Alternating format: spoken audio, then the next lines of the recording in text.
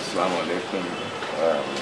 Muna farin ciki ƙwarai da gaske da allah ya raya mu sake ganin wannan rana ne albarka ranar da muke hawan shi bayan sallan idin idin fitr. Wanda ke muna addu'a allah ya karɓi ibadun shekaran jiya an yi hawan sallah da gwamna ya zo da duk irin kwamishinonin shi wanda suka rako shi maza. Na sallan idi sun mutu wannan sun zo sun kai da hawan sallah wanda ya yi kwanci ƙwarai alhamdulillah. Sannan na biyu jiya mun yi hawan bariki mun tafi gidan gwamnati. Muka je can aka yi taron yi ma gwamna barka da sallah. Wanda shi ma ita mataimakiyar gwamna da duk kwamishinonin ta mata ita kuma duk ta ɗauko. Da shugabannin department wani na gwamnati su zo wurin su da kuma ta ce mai girma gwamnan jihar na nasarar rufai to alhamdulillah shi ma taron ya yi rawatar ƙwarai da gaske. Duk garin tun daga jihar aka raso tudun wada har zuwa nan gida. Mutane ne akan titi wanda ba mu da abin da za mu ce musu sai dai mun gode ƙwarai da wannan karamci da aka yi mana. Kuma an yi shi lafiya an tashi lafiya babu wani akasi. Sannan yau abin da muka yi yanzu da safen nan shine gaisuwa na al'ada wanda ke shine gaisuwan jaddada mubaya'a ga sarki da kuma masarauta. To taron da ake kenan wannan gaisuwan fada in jaddada mubaya'a ga kowane hakimi mai ƙasa da mai title wanda yake da rai da lafiya ba ɗauke da kowa wannan. To duka hakimai kamar da gani sun fito ɗaya bayan ɗaya sun yi jaddada mubayawansu wanda yake ya nuna cewa sun yi mubaya ga sarki sun yi mubaya ga masarauta. To kuma na biyu akwai yanzu hawan daushe. Da an yi sallar da asirin allah da za mu fita hawan daushe. To shine mun fita din za a zagaya tashi daga nan za mu shiga ta gora mu fita ta ƙofar gayan. Sannan mu dawo ta wurin azaren dago a nan mu bullo ta kasuwa. Sannan mu dawo mu moto moto wata wanda na dawo gida yawanci shi ne ranar da aka fitarwa a nan ƙasar zazzau makwabtanmu katsina daga kano daga daura daga wurare daban-daban da su ana ta zuwa don a kalli hawan nan to muna addu'a da fatan allah ya samu yi lafiya tashi lafiya kuma muna son a fito ƙarfe uku da rabi yin allah ya yarda da an je lasar yadda yake mutane za su je su dawo a yi taron nan da farko mu hana a rinka yin hawa lokacin ana sallan magariba ko sallan azuba ba daidai ba ne mu musulmi da kamata a rinka yin zaɓi da za a yi a yi shi kafin lokacin sallah. Sannan kuma na biyu saboda yanayin muna son kowa a yi a tashi lafiya.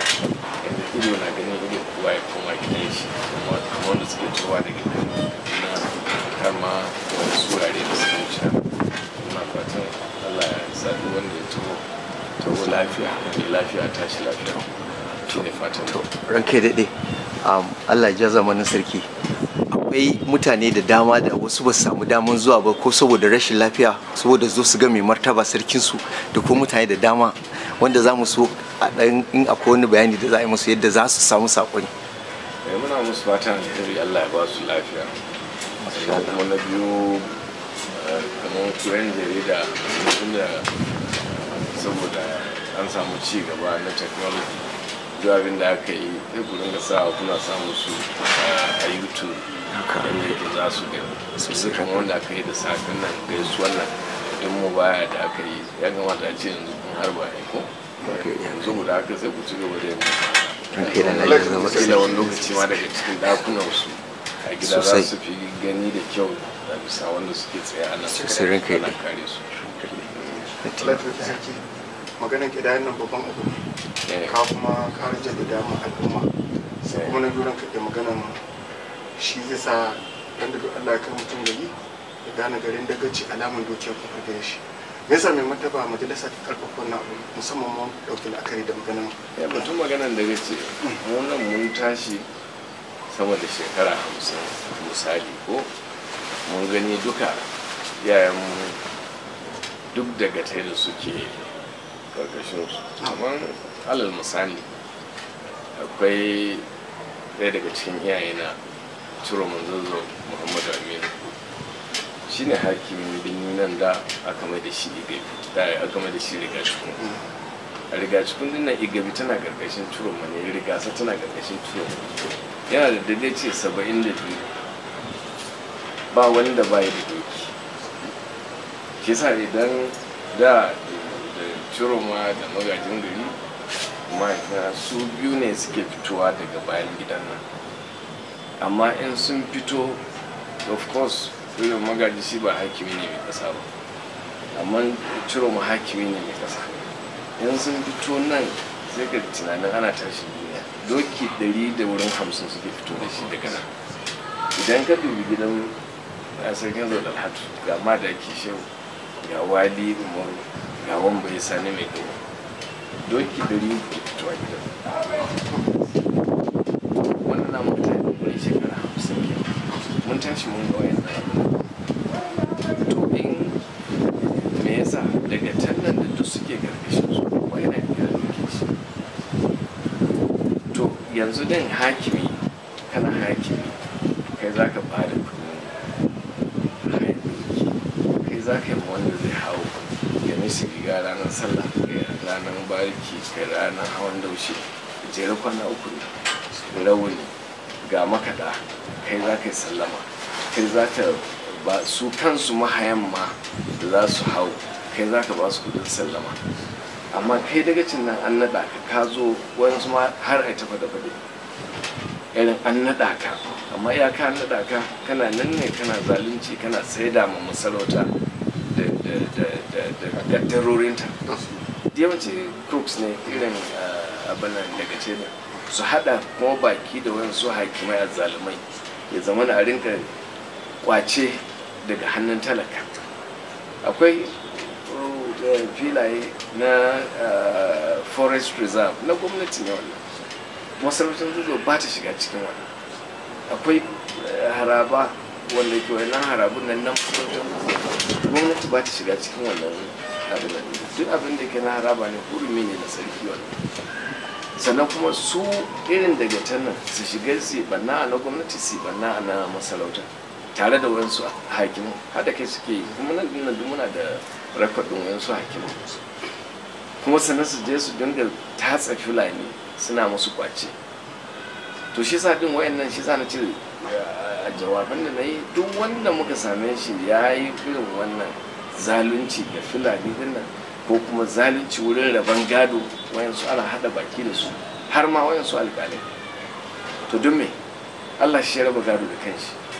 To duk me zai sa a rinka hada baki ana ana ana ana kullun nan shari'a muke harkar maganan gado harkar maganan irin wayansu amma rigi gadon an raba sannan wayansu a yi musu baki musamman mata. To shi yasa muke kira da kakkausan murya. Kowane hakimi sarki ba san dokin kowane daga ci. Ba na son ko kobo na wani wani wani wani hakimi abin nan. Shi yasa na faɗa su da kansu. In hakiman sun je sun gaya musu wani abu wannan kuma hakimin namu da shi. Amma batun a karɓi sisi na wani a kawo nan a kawo ba da bance ba ba kuma na so. Sannan kuma na biyu hakimin nan ya tabbatar da dagatai da aka naɗa su. Su san ba an baka title ne kan ka ringa faridin kanka kana 419 ba ma a wayan suraren a'a akwai responsibility akan wannan abin da sarautar da aka baka ka. Tanaji doki naka. Kai za ka yi amfani da shi ba hakimin da ba sarki ba. Saboda wannan ka shigo harkan sarauta ne. Kai ka zo ka dinga nema kana jan gaba kana son irin a baka. To an baka amma ga abin da ke tattara wannan ofisin da aka baka. Kuma wannan zai kawo sauƙi. Yanzu an kawo lokacin da duka zai wuya a ci gaba da hawan sallah. Saboda yanzu hayan doki ɗaya a jiya ɗin nan dubu saba'in ne.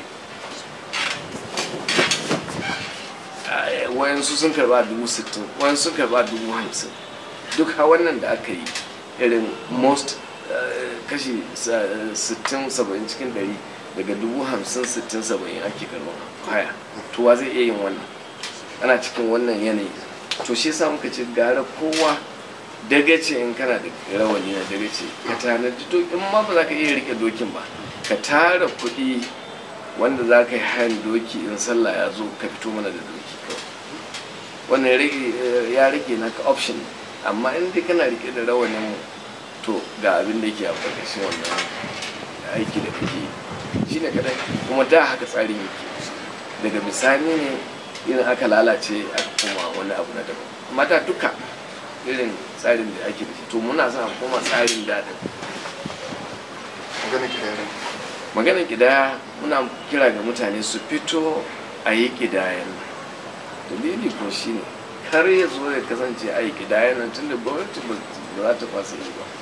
Saboda irin planning ba zai yi ba sai an san yawan mutane a kan ko'ina.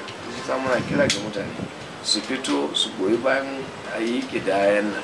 Yadda yake an san mutane yanzu misali a cikin zaria city nan an san mutane kaza ne. To duk wannan abin more rayuwa da gwamnati za ta yi ce za ta yi kaza za ta yi kaza za ta yi makarantu za ta yi asibiti sai an san yawan population da mutane. Sannan a yi. Saboda kan an kidaye jama'a din an san yanzu. Amma in mutane suka zauna a ɗaki suka ki fitowa to za suna za a rage kason da mutanen cikin lare za su samu. Ya Allah mutum eh, miliyan ne a cikin nan a ce dubu ɗari biyu ko dubu ɗari uku sun abin in aka gama gida nan zai kasance wannan abin mutum dubu ɗari biyu za a ringa kawo zare mai kuma kawo na miliyan. Shi ne kai so bisa shawara in muna ba mutane su a akwai wani abu da aka ce ba mu gani ba mu amma mun ji labari cewa an ce akwai inda aka sa wai addini. To addini na duk christians ba a ce akwai eh, pentecostal akwai protestants akwai catholic akwai baptist ba. A an sa christian. Amma na musulmi sai a ce sunni ko shiite ko ko eh, dariƙa tijjaniya ko. To wannan an yi ne don shi ne muka ce a sa kawai wannan muslim ko christian. Shi kenan a yi wannan abin nan kowa ya san abin nan. Duk na ji ni ban gani ba. Amma mutane nan da ake tasowa an ce abin da aka shirya ciki kenan. Shi ne muke kira ga gwamnati.